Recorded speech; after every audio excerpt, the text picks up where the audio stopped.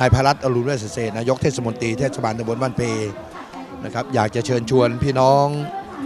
อทั้งชาวไทยและต่างประเทศทุกท่านนะครับเมื่อได้ทราบข่าวนะครับ งานเทศกาลเที่ยวทะเลที่จะจัดขึ้นในช่วงวันที่ 6 ถึงวันที่ 11 ธันวาคมนี้นะครับนะพลาดไม่ได้นะครับ ถือว่าเป็นการจัดงานส่งเสริมการท่องเที่ยวนะฮะเป็นของฝันสำหรับพี่น้องทุกท่านนะครับ ช่วง ฤดูหนาวนี้นะครับ6-11ธันวาคมพลาดไม่ได้ครั้งเดียว ปีเดียวมีครั้งเดียวนะครับ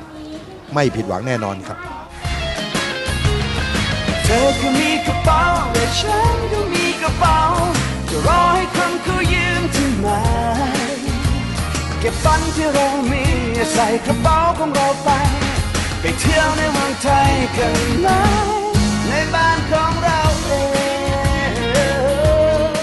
นี้ก็มางานแถลงข่าวของออหาดบ้านเพเกาะเสม็ดนะคะ เชิญเที่ยวเอ่อทะเลของหาดบ้านเพนะคะ ก็ตอนนี้ที่เกาะเสม็ดก็ได้ข่าวว่าออทุกอย่างก็คลีนหมดแล้ว ก็อยากจะเชิญออพี่น้องชาวไทยคนไทยทุกคนไปเที่ยวนะคะ เพื่อสสนับสนุนการท่องเที่ยวไทยด้วย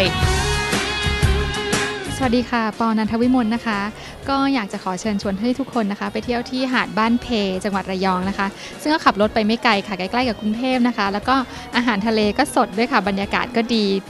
โรงแรมที่พักก็น่าอยู่มากเลยค่ะ ลองไปเที่ยวดูนะคะ